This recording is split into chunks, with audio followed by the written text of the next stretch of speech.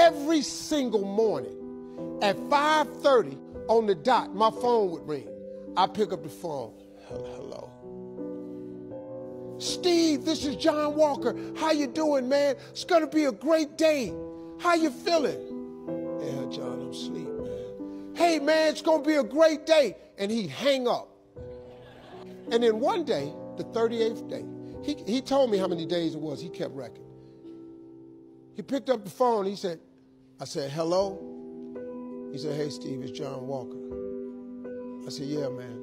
He said, man, can I ask you something? I said, yeah, John. He said, why do you answer the phone like that in the morning? I said, what are you talking about? He said, every time I call you, I've called you 37 days in a row, and you keep answering the phone like something's wrong. He said, man, when you going to change your attitude? I said, ain't nothing wrong with my attitude. He said, yeah, it is.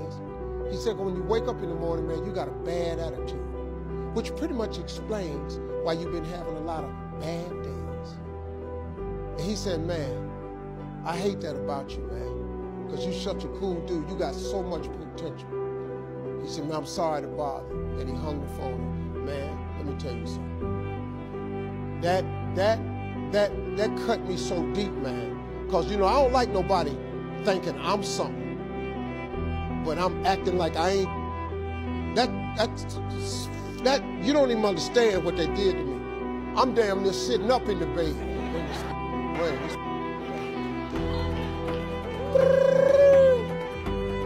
Hello?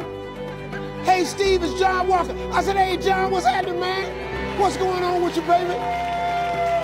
I say to Steve Harvey, man. He said, Steve, how's it going? I said, man, I'm having a great day, man. I'm having a great day, John, man. You don't believe it, man. I got some great stuff gonna be happening. He said, man, you my man. Click, and he hung up.